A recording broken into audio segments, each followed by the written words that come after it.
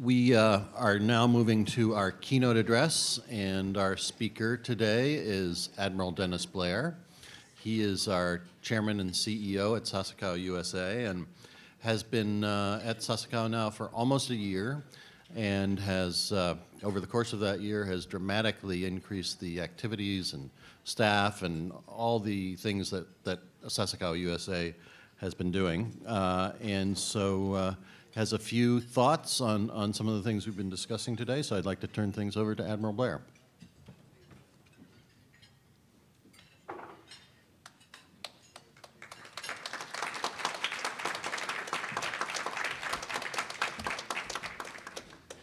Well, thanks very much to all of you who uh, are spending your spending your morning with us. I think it was a tremendous uh, couple of presentations, and even those of us who have been around these issues for a long time have uh, picked up new insights, uh, new, I, new ideas. And it's also good to be here at a, uh, an event that symbolizes the arrival of spring in, in Washington with the cherry, cherry blossom festivals. So I'd like to make a few uh, comments based on what we've heard this morning. We heard from Bruce Stokes about the high degree of respect and trust.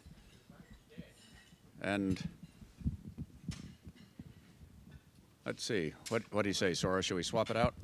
Okay.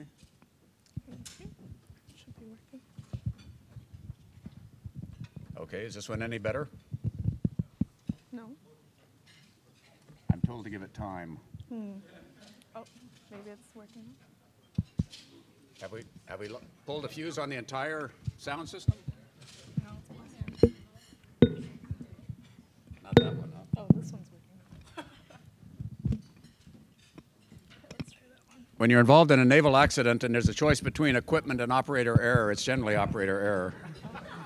so, but so Bruce Stokes gave us an idea of the uh, high degree of respect and trust between the citizens of Japan and the United States. Satu Limaye told us about the deep financial, business, trade, travel ties between the country, over a billion dollars spent every year by Japanese tourists in five different American states, 39,000 employees of Japanese companies in Illinois, California exporting over $20 billion to Japan.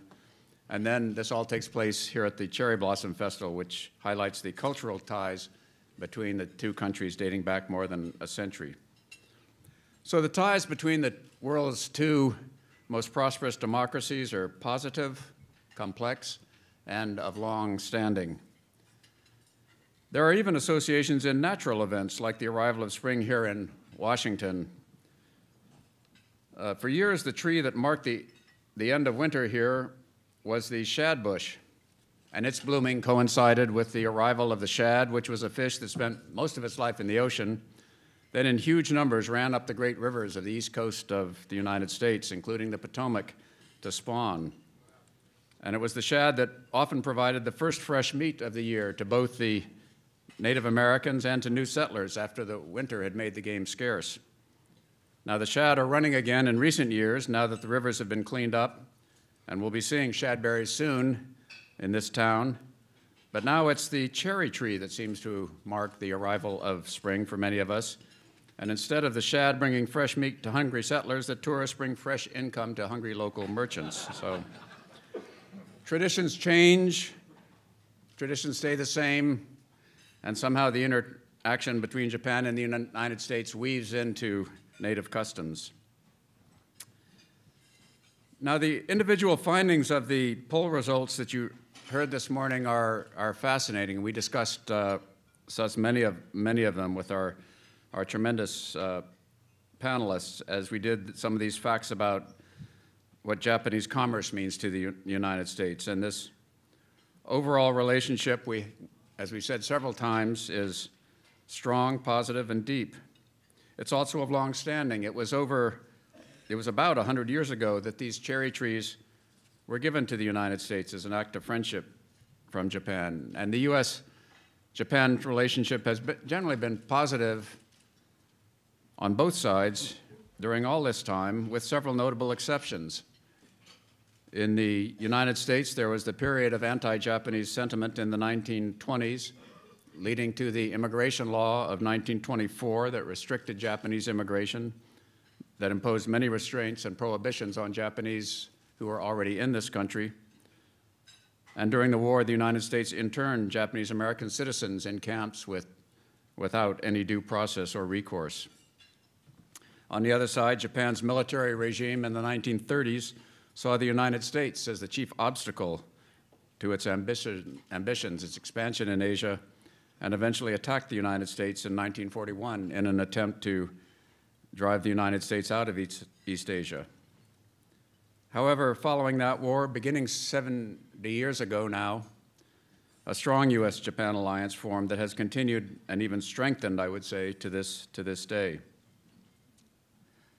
One thing that has always been remarkable to me is how close this relationship has been despite the enormous difference in our national characters. In fact, I think it would be difficult to find two peoples of major countries that are more different than Americans and Japanese. And there was a very interesting small book on, on the subject that was first published before World War II and then updated after the war. And the book is entitled We Japanese. It was commissioned by the managing director of the Fujiya Hotel in Hakone to try to explain to Western American visitors the true nature of Japan, to put in perspective the things that they would see around them. And there's a wonderful chapter in the book called Topsy Turvydom that begins with these words It is often remarked that Japanese do things in ways directly opposite to those of a foreigner. To the Japanese, foreign, foreign ways appear equally unaccountable. Now, some of the examples that this book gave were serious cultural differences that showed up in many cases in language differences. This book pointed out at that time that there were no words in the Japanese language which exactly expressed the same meaning as the terse English yes and no. And then there were humorous examples. A Westerner was said to stir his tea, quote, in the same way the hands of a watch move, whereas the Japanese do it in the reverse way, even though they live in the same northern hemisphere. Now, when I read through these observations, discussed them with uh, some of the some of those in our office who are either grew up in Japan or, or have lived there, uh, what I found was there were some, some of them they recognized where they came from. Others, others they said, oh no, that's not, that's not true anymore. And I think this combination of, uh, of the legacy of the past thinking, the layers of new thinking which have come as we've had greater contact with each other are constantly forming and reforming in the US in the US Japan relationship and if you step back and and look hard, I think you see more progress than you see moving back. But nonetheless, I think at heart, Americans are open, informal, and direct, and there's a strain of the Japanese character that is private, observes the rules of behavior, and is often very indirect.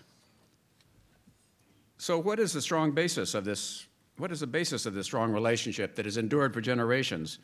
Since it's certainly not based on cultural affinity as it is with, say, the United Kingdom, which we've had several references to the, the day. Now, as the Cherry Blossom Festival reminds us every year, there's certainly strong cultural interest between the United States and Japan. Popular American culture fascinates some Japanese, music, clothes, and so on. Japanese culture, both traditional and contemporary, catches the attention of many Americans.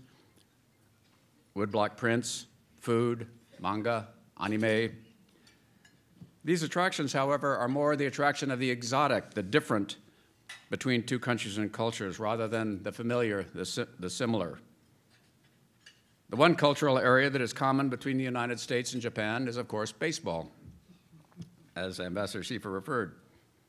Same rules, after all nine men on a team, nine innings in a game, three outs in an inning, four balls in a walk, th three strikes and a strikeout. However, on closer inspection, I would say the differences between how the game is played on the two sides of the Pacific are quite as striking as the similarities. In the United States, building a team around the qualities of individual players, Japanese training and molding of individuals to fit into precisely defined positions and, and, role, and role playing. U.S. fans heckling of individual players on the other team from the bleachers in very personal and direct fashion, Japanese chants, songs, and flags waving in the stands, U.S. brushbacks and bench clearing brawls, Japanese teams stoic discipline in the face of adversity. Same game, different approaches. So, although the cultural attractions between the United States and Japan are many and they're strong, I don't think they can account for the strong ties between our two countries. And neither can the explanation be found in the influence of Japanese ethnic groups in the United States, as is true for other nationalities, famously from the Irish through the Jews. Japanese Americans are, in fact, the smallest ethnic group from among the major American countries. According to the 2010 census, citizens of Chinese heritage were the largest single group of ethnic Americans from major Asian countries followed by Filipino Americans, Indian Americans, Vietnamese Americans, Korean Americans, and then Japanese Americans. And Japanese Americans are among the least politically active of the ethnic groups in this country, with the possible exception of Hawaiian politics, where they play a very strong, strong role. By the way, going the other direction, Americans are only the fifth largest group of foreigners who live in Japan, according to the latest statistics. So, what is it that has kept this relationship, this alliance together all these years? 70 of which have been an alliance that we have referred to. I think I would come back to the central role of shared values. Shared values, but different interpretations. As, as the examples I gave earlier demonstrated, these shared values are not easily discerned on the surface, and they are not across the board, but nonetheless, they have brought our countries together over the decades. Over the decades since Japan opened to the outside world in the Meiji era, since the United States became a powerful Asia country in the 1890s. And one shared value is the common belief in the importance of technological progress, along with well developed technological prowess. Alongside their veneration of the past and their wish to preserve it, Japanese also believe in the value and importance of newer and better devices. They have an inherent progressive problem solving approach. In the past, much of Japanese technological progress was imitation, importing the best technology from foreign countries. That certainly was the early Meiji approach. However, if some of the basic technology was imported, the Japanese often reworked, improved, and perfected it far beyond the achievements of its originators. The Japanese automobile industry famously learned to build better, less expensive cars than those from the United States, and Detroit had to go back to school to learn the lessons from the Japanese continuous improvement processes. Japanese railroad trains were originally imported from abroad, but today Japan sells high speed train technology back into countries that had developed railroads much earlier. And in Japan, many areas have gone far beyond importing and perfecting to discovering and inventing. Casio is given credit for the electronic calculator in 1957. Many Japanese companies were selling them by the 70s. Seiko, the first quartz, quartz wristwatch in 1969. Sony, for many years, was a powerhouse of inventiveness from the CD to the digital camera to the Walkman. And most important of all, of course, Japan invented the automatic electric rice cooker. we just used ours last, last weekend. And in this century, J Japanese scholars have won Nobel Prizes in chemistry and physics for the mathematics of subatomic particles, the discovery of fundamental processes of photosynthesis, and the discovery of the science that led to the LED, the liquid emitting diode. And these are certainly characteristics that are shared with the way that America approaches technology and technological progress.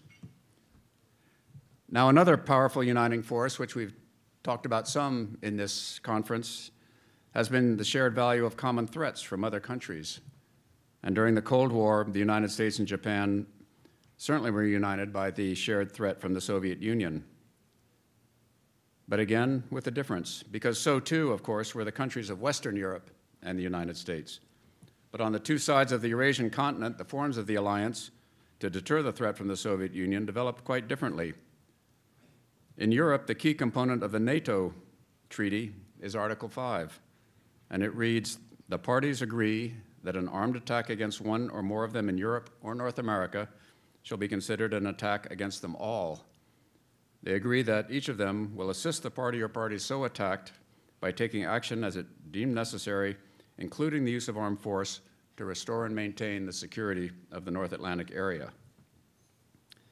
Now, the US Japan Alliance Treaty also has an Article 5, and it reads as follows Each party recognizes that an armed attack against either party in the territories under the administration of Japan would be dangerous to its own peace and safety and declares that it would act to meet the common danger in accordance with its constitutional provisions and processes.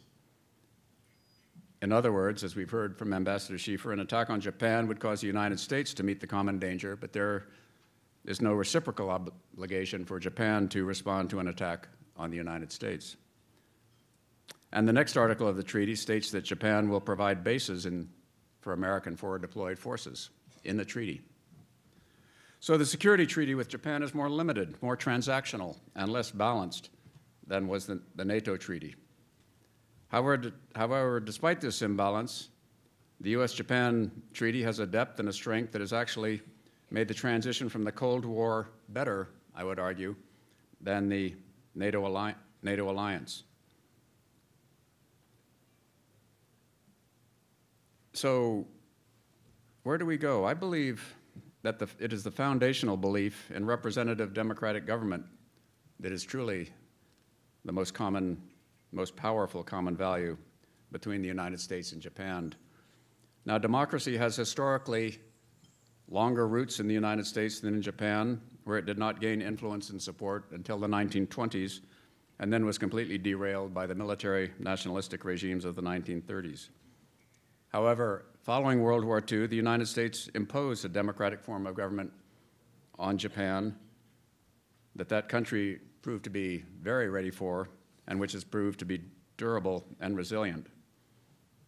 But if my remarks this afternoon have made any point, it is that similar concepts in Japan and the United States can have far different appearances, and democratic values are no exception. Since 1955, a single political party has held power in Japan, except for one brief and recent period. Politics often seem hereditary in Japan. The current prime minister is the grandson of another, and Japanese political family dynasties go far beyond the Clintons and the Bushes, about which Americans are so recently concerned.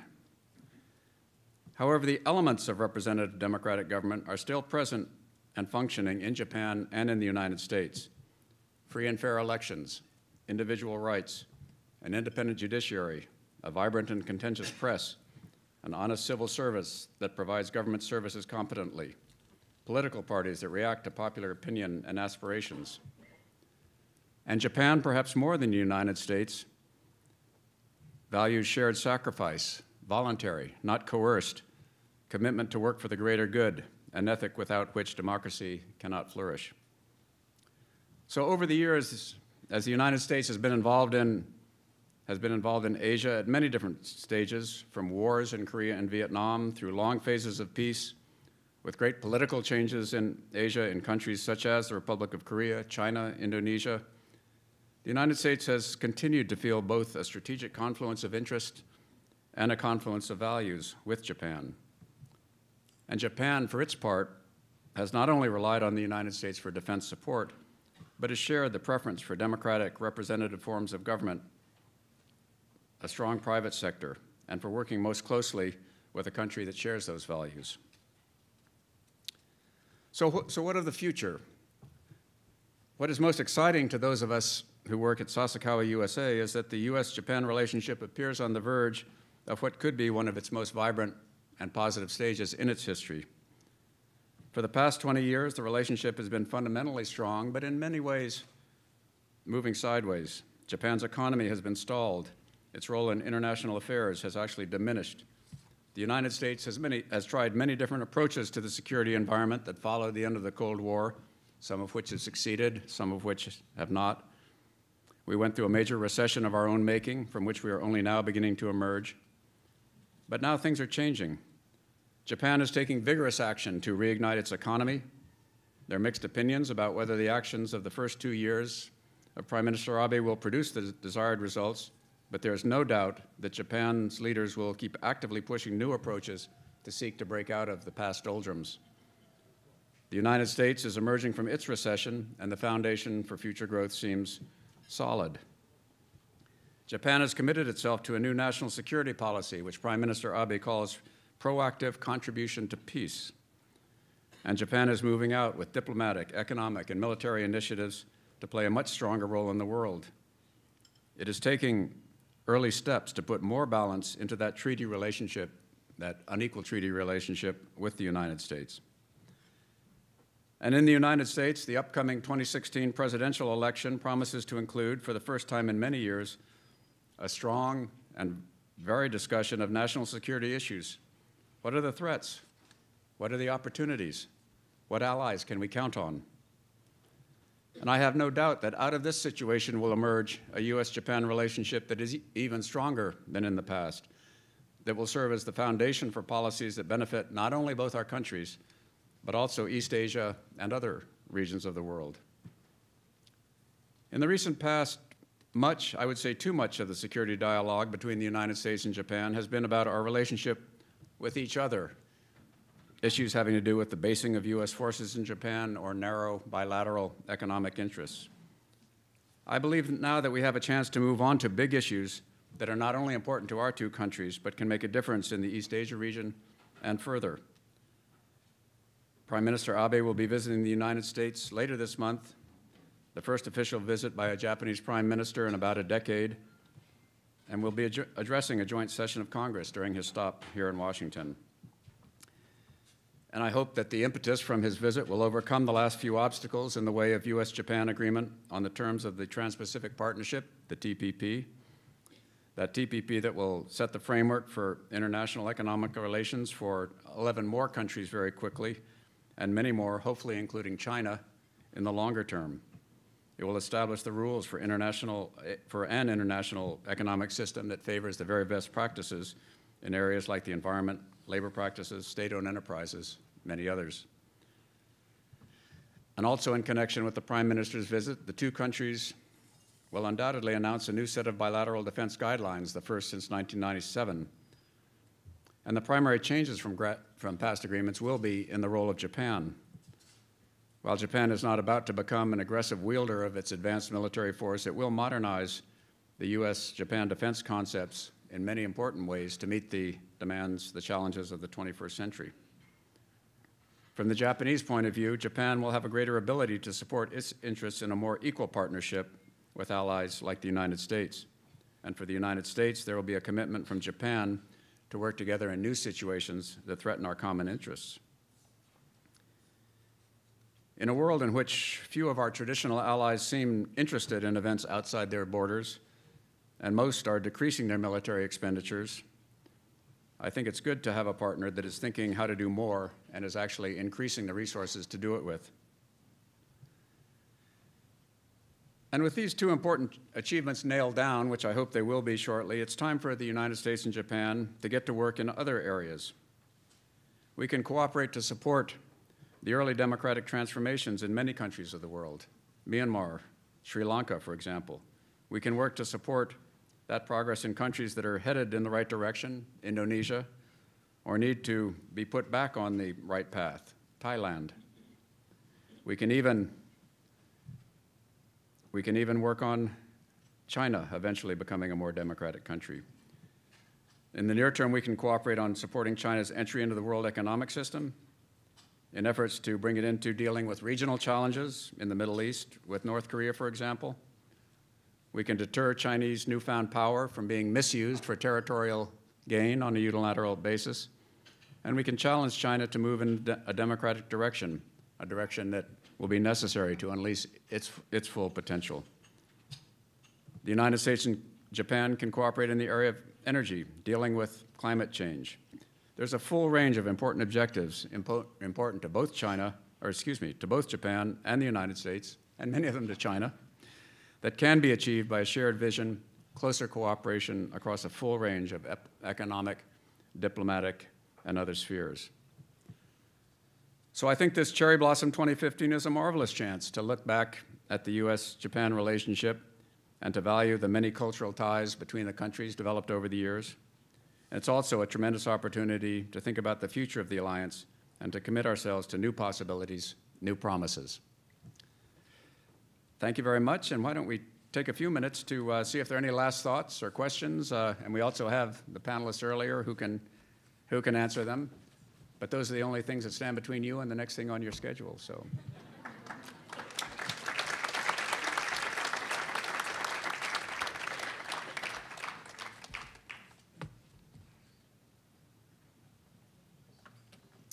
In that case, I wish you all a wonderful Cherry Blossom Festival, a, a great spring, and we'll see you next time. Thank you.